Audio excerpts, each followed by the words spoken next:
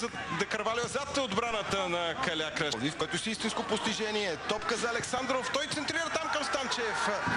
Включва там Самир Бенжион. Центриране на Бенжион. Успя Господинов. Топката не попадна в негов съперник.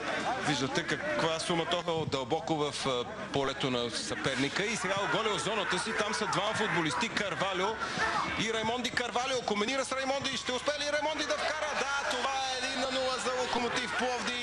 Пасът напред.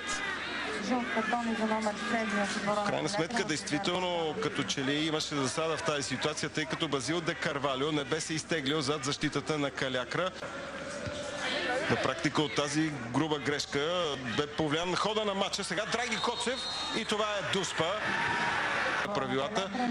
Ето тук Детелин Димитров как се хвърли в краката. Златински шут. Усети Йордан Господинов ъгъла, но тази топка и сега Карвалио. Комарков. Опитва комбинация с Детелин Димитров. Той успява да изпревари Драги Коцев. Детелин Димитров пуска топката и това е един на два. Калякра стига и до попадение. Райчев, шут на Райчев по-близо до гола. Още веднъж да видим, а по-скоро подбутване в гръб от Сержиньо. Той е сам срещу Йордан Господинов. Сержиньо, какво ще направи Сержиньо? И това е 3 на 1 за Локо Пловди. Всичко е ясно в този матч.